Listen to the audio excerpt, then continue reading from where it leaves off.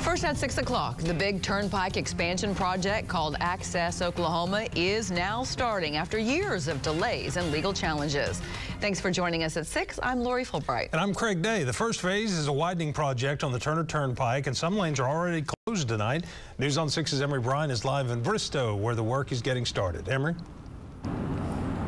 Well, the Turnpike Authority says widening this stretch of the turnpike will certainly improve safety and it will also improve the flow of traffic all the way from Tulsa out here. They also plan to increase the speed limit on this stretch. One, two, three. The groundbreaking marks the start of a 15-year construction plan for the Turnpike Authority. First project on the list is widening this section of the Turner from four to six lanes. It'll be lit, six lanes, wide shoulders, wide center, uh, inside shoulder, uh, highway lighting at night, major safety improvement for this area. The wider section will look like this stretch just to the east of the upcoming project with lights on the median barrier and much wider shoulders. It will end at the Route 66 junction at Bristow where eventually the OTA plans to rebuild the interchange.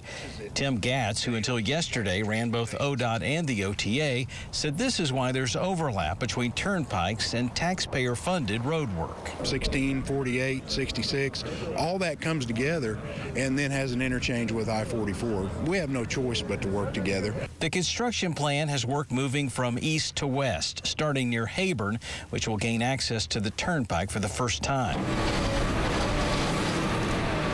Governor Stitt, who made sure he broke the most ground at the groundbreaking, said this project is important, even as he said turnpikes should be limited. The turnpikes, as long as we're we have the turnpikes already, I'm not a big fan of building new turnpikes, uh, but uh, this turnpike here, widen it, I think is the right thing to do to alleviate the uh, the traffic between Oklahoma City and Tulsa.